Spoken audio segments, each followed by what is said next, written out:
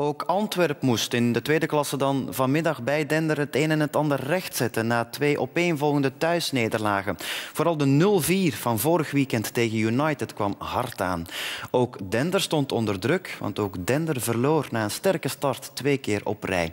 De verliezer van vanmiddag verloor de voeling met de kop van het klassement.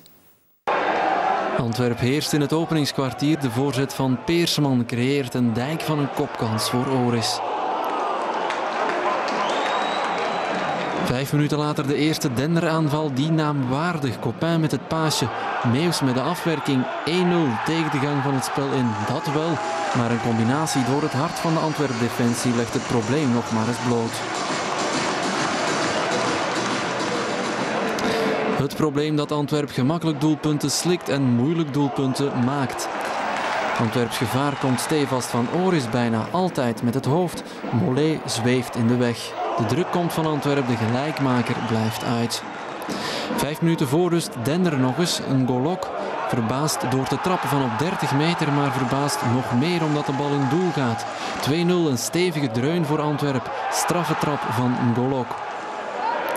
Rood-wit moet in de tweede helft opnieuw achtervolgen. Kopbalpoging nummer 4 is de juiste voor Oris.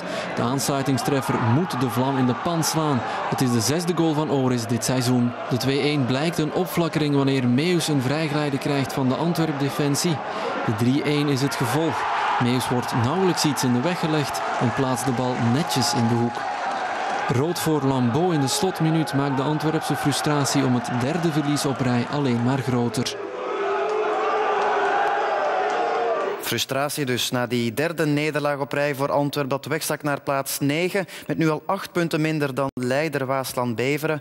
Beveren pakt ook de eerste periodetitel trouwens na een 1-3-overwinning bij Boussu Doer. Antwerp pakte in die laatste drie match ook negen tegendoelpunten en kon zelf maar twee keer scoren. De Bosuil smeekt om een overwinning volgende week tegen Heist. Ook Ruppelboom verloor en staat gedeeld elfde met twee punten minder dan Antwerp.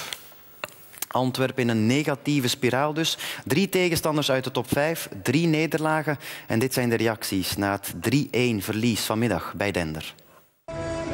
Kevin Oris ziet het er stilaan een beetje dramatisch uit voor Antwerpen. Uh, ik denk dat we, dat we niet te veel moeten panikeren. Denk ik. Eh, we spelen vandaag geen, geen al te slechte wedstrijd, denk ik. Alleen ja, we moeten leren ons kansen af te maken. En, uh, proberen een stuk minder weg te geven. En dat is uh, het probleem op dit moment een beetje. Antwerp geeft toch zo gemakkelijk doelpunten weg. Ja, maar dat, uh, dat weten we al lang. Uh, je moet alleen naar de, naar de tegengoal kijken en we hebben nu de 18 denk ik, dus dat is veel te veel. dat wil niet zeggen dat alleen de verdediging of de keeper slecht staat. Dat de hele ploeg moet beter verdedigen, denk ik. Ja. Zit alles nog goed met de mentaliteit, met de organisatie? Uh, de mentaliteit is nog altijd, nog altijd goed. Uh, de groep hangt nog altijd heel goed aan één. Uh, dat is ook heel belangrijk. ja, en we moeten weer vechten volgende week. volgende week is het opnieuw een wedstrijd. En we zien wel wat er dan volgt.